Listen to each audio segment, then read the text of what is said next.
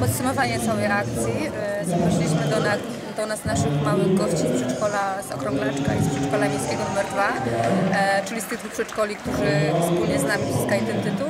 Przywitaliśmy bardzo serdecznie, były tańce, wspólne kaczuchy, czego bardzo się cieszymy, bo przystąpiło do nich również większość uczniów naszego gimnazjum. Gdzieś tam tęsknię do takich tych lat młodości.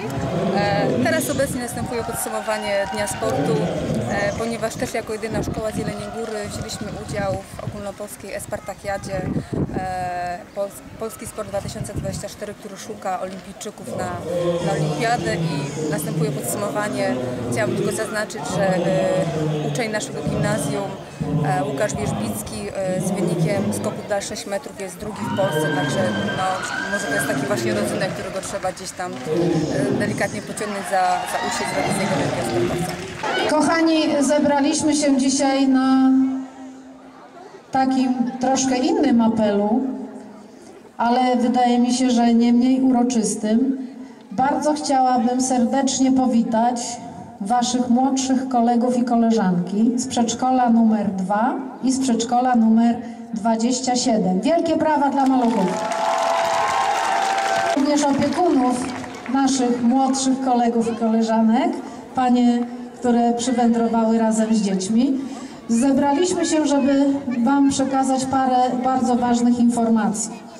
Tu pani z przedszkola numer, numer dwa trzyma w ręku taką tabliczkę Przedszkole w ruchu. Również przedszkole numer 27 takową tabliczkę otrzymało i ja podnoszę do góry tabliczkę. To jest tabliczka dla Was. Szkoła w ruchu.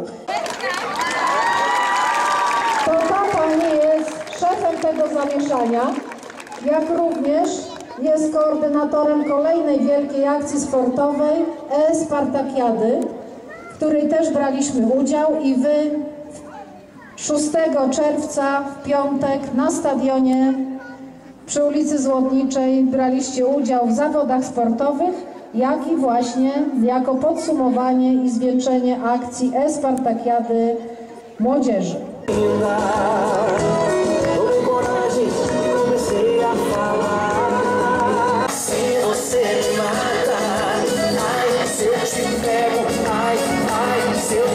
Reszta się bawi, około Saurona patrzy.